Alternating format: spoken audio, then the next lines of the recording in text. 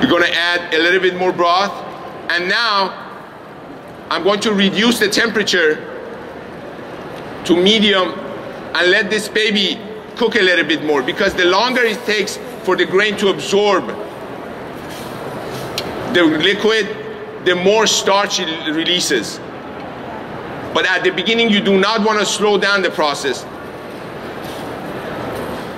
One more and two more. And a lot of times people tell me, but chef, when do you know the risotto is done? I can know, I can, I know when the risotto is done just by looking at it because of the experience and the amount of risotto I've been cooking. But you guys taste test your palate and to make sure that it's al dente, the bite that you feel in a risotto is the best way to find out. And the myth about throwing your pasta to the roof, that's usually an overcooked pasta if it sticks. Can you imagine if you would be testing that in the kitchen in a professional, my entire ceiling would be full of pasta. So I'm gonna lower the temperature now to make sure that nothing is gonna burn.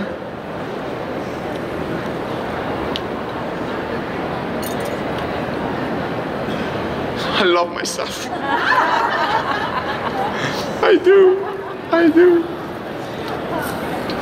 We have very few minutes left for this risotto to be ready. Meanwhile, we're going to add a little bit of sea salt. This is pure sea salt. You have all the minerals that your body needs in salt. Salt, to a certain extent, is needed. And too much of it is not, too much of anything is not good for us. But that doesn't mean that you shouldn't season your food. And we're gonna taste a little bit. White pepper, a little bit of white pepper. For those of you that wanna know the difference between white pepper and black, of course, color is one, but the black peppercorn has been soaked the exterior skin is removed, the inner core is white. That is white pepper. They're brothers and sisters, but they all have different characteristics. One last taste. And this, I wanna make sure that I only grab the grains. The crunch of the beets. The grains are so al dente. Now we're gonna go to the mantecare stage. Off, off, no more heat.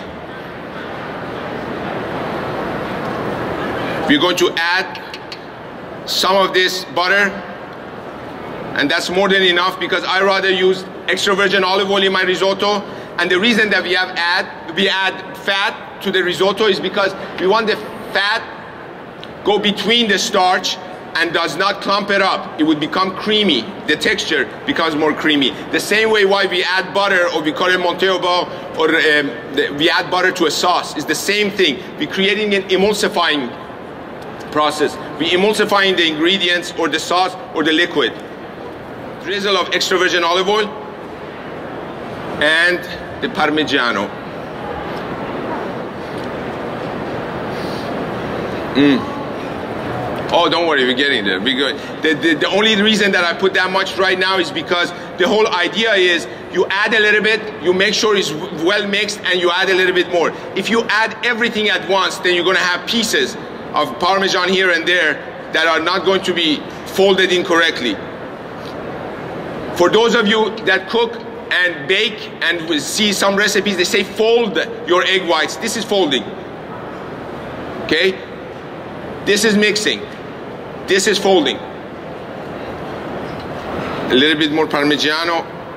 And don't forget, I turned that off. Doesn't mean the cooking process stopped. The risotto is still cooking. The grains are still cooking. And we are done with this. I'll do one taste test last. Make sure that it's seasoned right. If it needs anything else, I'll adjust seasoning.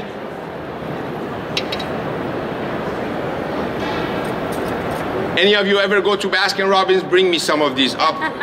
yeah. Beautiful, beautiful. Now this is how I would serve this at the restaurant. Did you notice the entire process we use the spatula, a heat resistant spatula? Because in the olden days, before this spatula was available, we would use a wooden spoon. But if you use a wooden spoon, what happens is you break the grains as you're stirring and the starch is released much faster. You get this gummy risotto. One quick trick that I want to share with you is the goat cheese that I've crumbled up. When Michael and I, we started prepping for this dish, the goat cheese was at room temperature.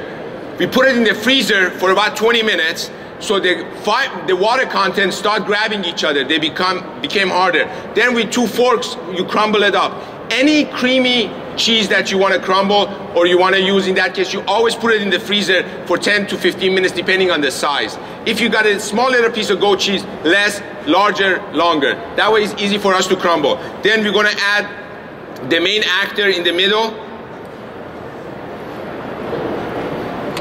We're going to add a little bit of the parsley now over it, red and green.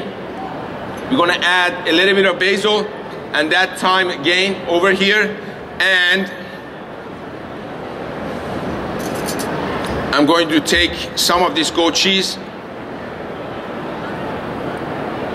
and put it on top.